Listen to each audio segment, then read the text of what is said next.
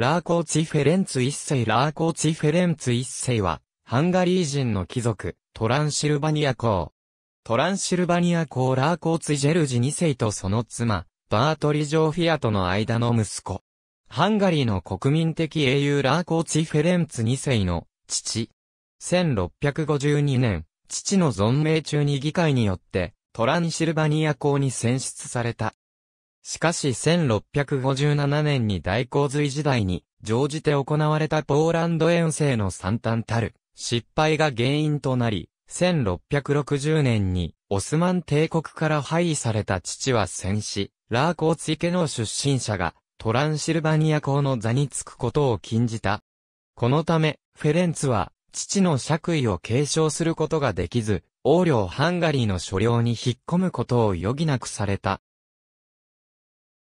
ラーコーツィ家はカルバン派信徒として有名で、カルバン派教会の熱烈な支援者として知られていた。しかし、フェレンツの母ジョーフィアの実家は、カトリック信徒であり、母は結婚のためにカルバン派に改宗していただけだったため、父の死後はカトリックに復帰して、ハンガリーにおける対抗宗教改革の代表的な推進者となった。フェレンツも母と一緒にカトリックに改宗したが、これによって、カトリック信仰の牙城である、ハプスブルク宮廷の恩子を得る道が開けた。1664年には伯爵に除せられ、1666年に、クロアチア副王、ペータル・ズリンスキの娘イロナと結婚した。イロナとの間にジェルジ、ユリアナ、ラーコーツィ・フェレンツ2世を設けた。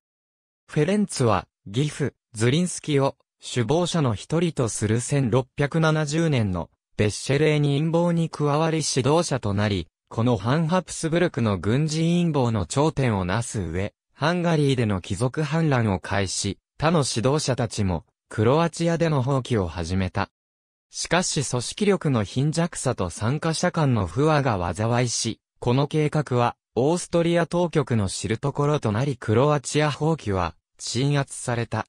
ズリンスキが、オーストリア当局に捕獲されたことを知ると、フェレンツは武器を捨てて、恩赦を請うた。ズリンスキや他の陰謀参加者たちは重大な反逆罪で処刑されたが、フェレンツは、母が対抗宗教改革の推進者として権威ある立場にあったことと、保釈金として30万フォリント及びいくつかの城を皇帝に献上したおかげで罪を免れた。1676年、次男フェレンツ2世が生まれた数ヶ月後に死去。子供たちは、イロナに養育され、イロナは、テケリームレと再婚した。フェレンツ2世は後に、ウィーンに移されたが、やがて脱走、ハンガリー独立戦争の指導者となっていった。ありがとうございます。